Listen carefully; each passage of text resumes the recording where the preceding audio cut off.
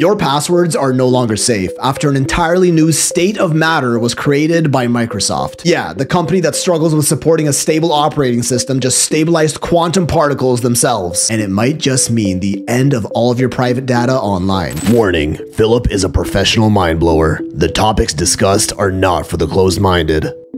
We're talking a new state of matter, you know, like solid, liquid, gas. There's also the lesser known plasma for things like the sun, the northern lights, and lightning, but these four are pretty much all we've known. Well, the Windows guys just created a new one called a topological state. The name's kind of a work in progress, but what's special about this one is that it only exists at the quantum level. Quantum meaning very, very, very, very small, where classical physics no longer applies. And this topological state is a game changer for quantum computing. For those who don't know, quantum computing is sort of like the next big technological breakthrough, just like AI has been in recent years. And it may literally destroy our entire digital world. But what exactly makes quantum computing different from the laptop, phone, or desktop PC that you use today? First of all, quantum computers look like this, cost millions of dollars, and need to be cooled to near absolute zero, which is negative 273 degrees Celsius to operate. But what's really impressive is how they compute data. So if you strip down today's computers to their most bare bones computational processes, we'll see that everything is built on bits, basic binary switches that can have one of two values, 1 or 0. These values are assigned through electrical signals that pass through a solid medium like a silicon transistor that represents the switch. Since there are only two options, we call them binary, on or off, voltage or no voltage, based on the electrons that pass through them, which then form longer strings of ones and zeros that become bytes, 8 bits, kilobytes, 1000 bytes, megabytes, 1000 kilobytes, and so on. These ones and zeros are binary code and represent data or computational procedures that virtually all technology is based on. This collection of ones and zeros could be a photo of your mom, and then this one could be me sending her a text. Now, quantum computers, instead of bits, use a new technology called qubits, quantum bits, that are non-binary, which doesn't mean they'll be using pronouns, but rather these qubits can now be one and zero at the same time, called superposition, and are also fairly unstable. With traditional computing, running complex simulations with hundreds of variables can take a really, really long time because each bit needs to be assigned a specific value, 1 or 0, and then that bit needs to be freed up before it can be used again for another operation. Quantum computing uses the unique properties of the atomic level by letting qubits be a 1 and 0 at the same time, meaning a qubit doesn't really need to be freed up before it can be used for something else. They can essentially be used for multiple operations all at once instead of waiting for their turn to be a 1 or 0 like in classical computing. In our classical universe, an object can't really be in two different states at the same time. So it's theorized that these qubits are actually communicating with parallel universes, where it exists as a 0 in one universe and a 1 in another, and it instantly pulls the information it needs from that qubit into our universe. In a sense, quantum computing creates time by borrowing the processing time of qubits in other universes and using their information in our own. By this theory, which is a real theory proposed by quantum computer scientists, these qubits are communicating directly with the multiverse. Yeah, I know, it's a mind